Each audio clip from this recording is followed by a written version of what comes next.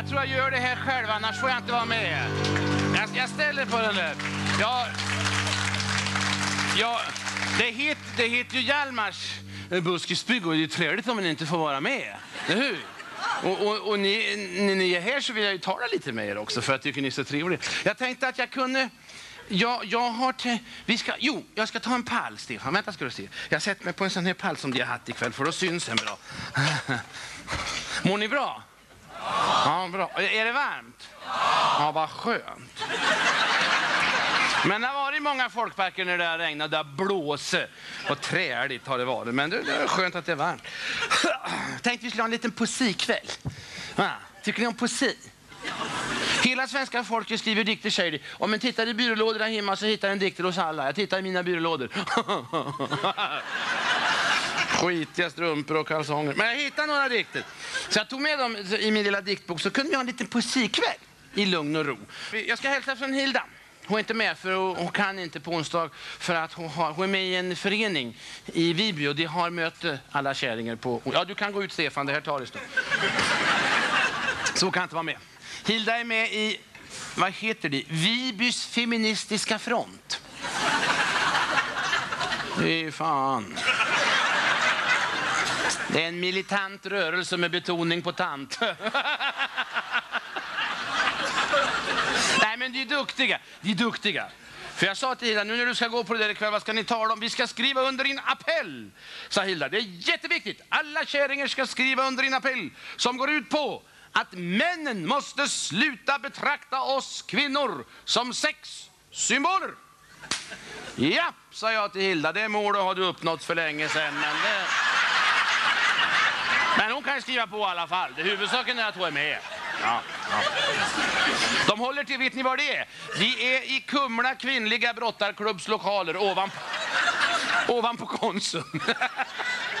Och sen samlar de in pengar för de ska åka till Berghagen på Skans, åka buss. Annars, Hilda har ju fullt upp för det är ju högsäsong för oss med ägg. Vi har, hon har ju äggproduktion, Hilda. Hon gör ju ägg, experiment, jag på att säga. Hon, hon har, vi har ju sprätthöns.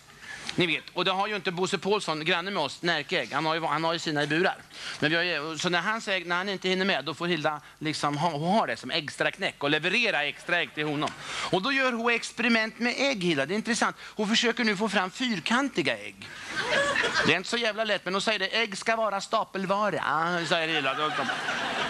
Har fått fram runda små. Har ni provat dem? Hildas små runda ägg. De är goda. Hon ger hönsen pilsner. Och det tycker de är gott så det dricker de. Då får de hicka och då klämmer de av äggen. Blir så här som pingpongbollar. Jävla goda ägg, det är säkert. Ja, det är säkert.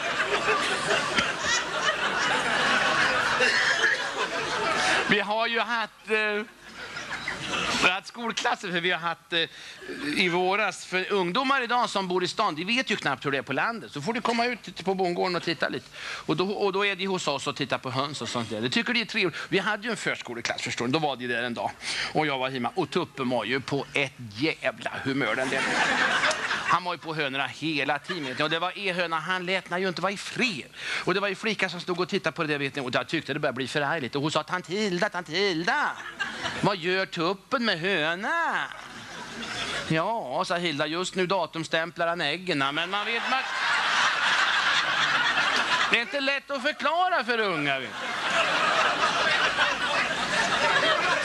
En grabb grabb var ute, han var med i en skolklass. Och Hilding som har strax nedanför oss med, med, om ni vet den stora lägården, så, och då hade han en ko som skulle kalva. Och just den dagen så, så var det ute och den här grabben han blev stående i ladugårdsdörren och tittade och Hilding hade liksom inte tid att ta, ta hand om grabben just då. Och, och, och, men ni vet det här med att en ko ska kalva, det är ju ett fantastiskt spektakel att titta på överhuvudtaget. Vet ni. Och den där kalven ska hjälpas ut och det kommer såna skrångliga ben först vet ni, och så får den hjälpa kalven och så ligger och så upp och försöker stå. Och, och grabben stod och tittade med stora ögon på det där. Vet ni. Och sen han var, den där var klart då så, så sa Hilding, ja nu har du allt mycket att fråga om, sa han till grabben. Ja, sa grabben. Hur fort sprang den där kalven när han dunkade in i kon, hörde du? Det... Det är ju inte lätt för ungdomar.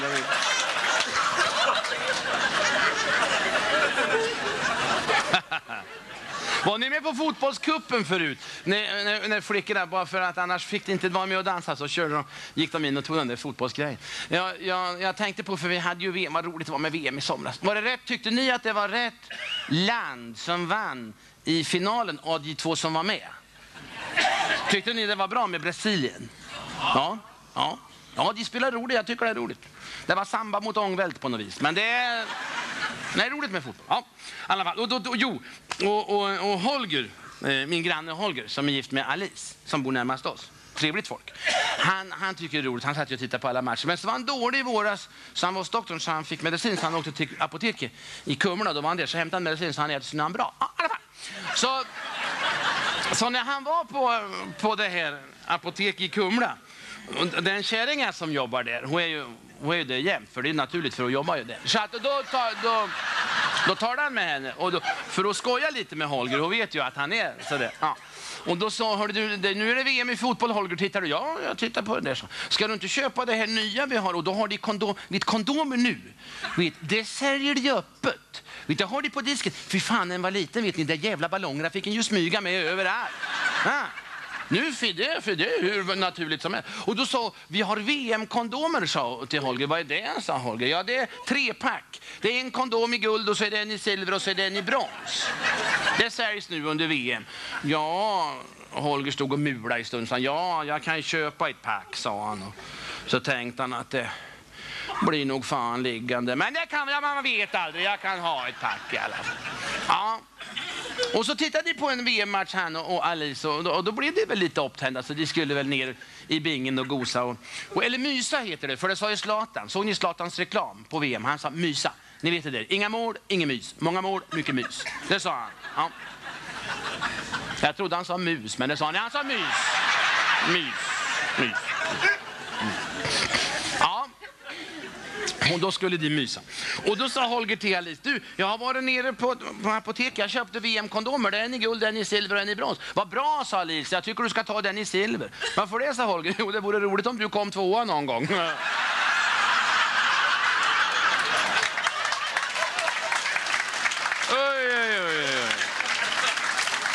Ah.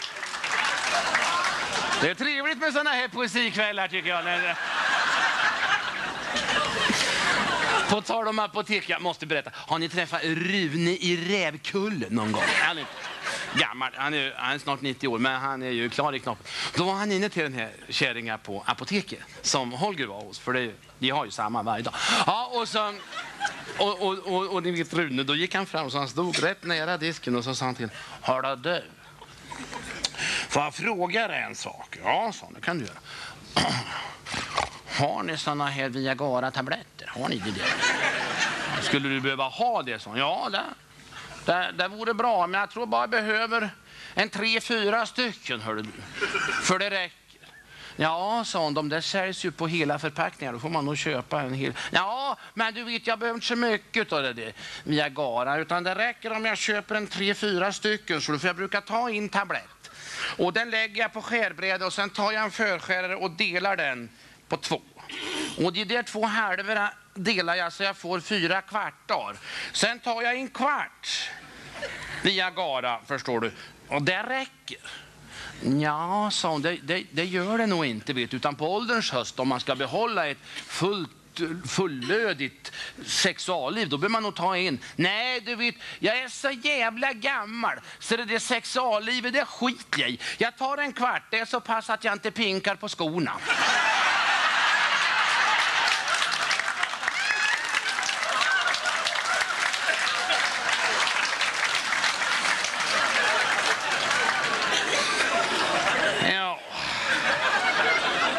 Sig något varje dag brukar jag säga. Det.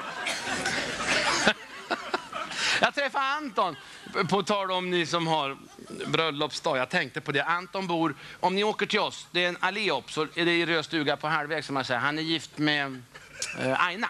Och då talade jag med honom och just då vi talade om bröllopsdagar. Och sa, vet du vad Hjalmarsson, jag har varit gift snart nu i 50 år och det är guldbröllop. Och jag sa till henne, det är fantastiskt detta. Ja, det är fantastiskt. Jag ska tala om för dig. När vi hade varit gifta i 25 år, som några av er hade varit, då tog jag med mig Aina förstår du, på en fantastisk resa. Förstår, vi åkte till Grönland. jädra intressant. Och nu när vi har varit gifta i 50 år så funderar jag på att åka dit och hämta hem igen. För jag, jag gör. Bara som ett tips menar jag att det, ja. Gentleman. gentleman. Och Hilda har jubileum. Hilda har... har ehm, nu måste jag räkna. 2002. 30-årsjubileum har Hilda. 30, för 1972 så bestämde hon sig för, kärringen, att hon skulle ta körkort. Hopp. Så det tog hon förra veckan. Så att nu det är 30 år sedan. Det har gått, har gått bra ändå tycker jag. Bilskolan gick i konkurs igår så att det, det har gått bra. Hon har hållit uppe verksamheten. Hon har varit en mönsterelev. Och nu kan hon köra bil men hon kan inga om bilar utan hon bara kör. Sen vet hon inte, hon vet inte hur den öppnar motorhuven. Hon var på väg hem vid den där allén en dag. Plutt, bilen stannade ni vet. hon gick ut och då ställer hon sig och tittar på bilen. Och det startar han ju inte för. Och det kom en grabb på EU-moppen, de kan ju så mycket grabbar idag om motorer. Och han var artig, han sa, har, har bilen stannat för tant? Ja, sa Hilda. Han går inte. Han sa plutt. Han, stå, han står det. Jag vet inte vad jag ska göra. Ja, jag kan hjälpa dig, sa grabben. Och så öppnade han huvudet och ner bland slangar och sladdar vet ni, och kopplade. Och så slog han igen huvudet så gick han in. Och bilen startade ju på ingång så han gick ut och tittade Hilda i ögonen och sa skit i förgasaren. Jaha, sa Hilda. Hur ofta måste den göra det tror du?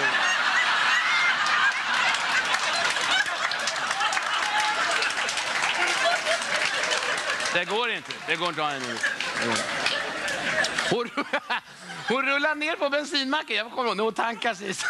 Och lånar duetten, då får du ha min duett och köra med. Och då sa hon till den där bensinkillen där att hörde du, sa, jag tror jag behöver ha längre oljesticka, den jag har nog inte ner. Och jag skäller på honom. Jag har sagt till henne, Hilda du får skärpa dig med bilen. Det är tredje gången jag får reparera kopplingen. Skyll inte på mig Almar, den använder jag aldrig i alla fall. Det går inte att ha henne i en bil. Hjalmar, det är fel på bilen. Vad är det? Det är vatten i karburatorn. Ja, var står han? I Svartån! Lyssnar ni på lokalradion? Det gör ni förstås, för det har de ju över hela Sverige samma sak. Och så fort det händer något i trafiken, då rycker de in på lokalradion. Ni vet, de blir så lyckliga när det händer något. De har kört 50 gånger i timmen, ta mig fan. Det finns inte en chans att missa. Och så talar de om vad de heter också, för det är bra att vet vad den heter som talar om att det har ramlat trä i vägen, eller hur? Det är väldigt viktigt. Ja. Där kör de. Och då sa de en dag att om en åker på E4 så är det en bil nu som åker mot trafiken. Och jag tänkte nu är Hilda på väg hem, jag måste ringa och varna henne. Och jag fick tag på kärringar i bil, sa passar det Hilda den som kör mot trafiken? En, sa Hilda, det är hundratals. Fan.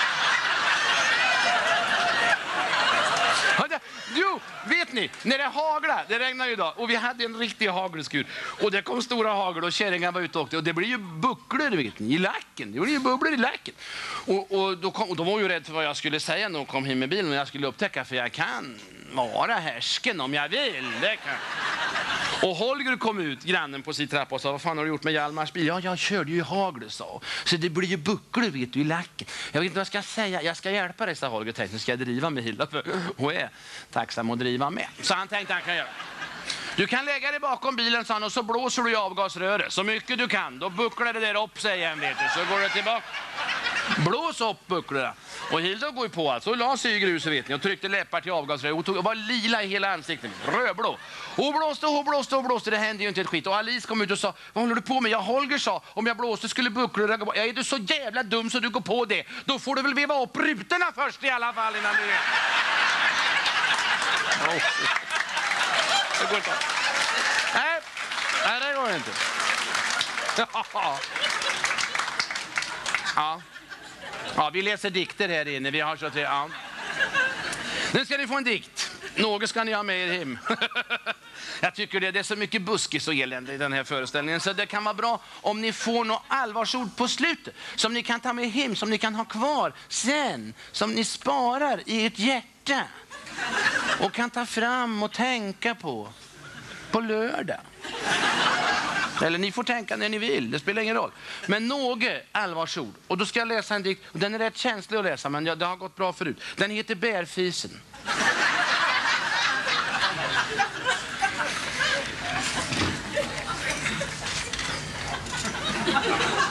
Vad fan går du i repris? Ja. Då lyssnar du på det här nu Stefan, för det här, kan, det här är bra för dig att höra. Mm. Med morsin på ett lingonblad. En liten bärfisunge satt och kvad. En dag han kröp på egen hand bort att bese sitt fosterland. Men när han åter hemma var så fanns hans mor ej längre kvar fråga dig, både här och där, vet någon var min moder är? Men ingen kunde honom ge på var hon var bekräftelse. Då kröp han in i lingonris och bittert grät på fisars vis. Och så en dag var sommaren all och vinden drog så hård och kall. Då föll den stackars fisen död till jorden ner från sorg och nöd. På frågan var hans moder var fick han aldrig något svar. Men levde han i denna dag, svaret gav då honom jag. För hon ligger i en kruka hos Kristina kokt med lingonmos. Tack så mycket.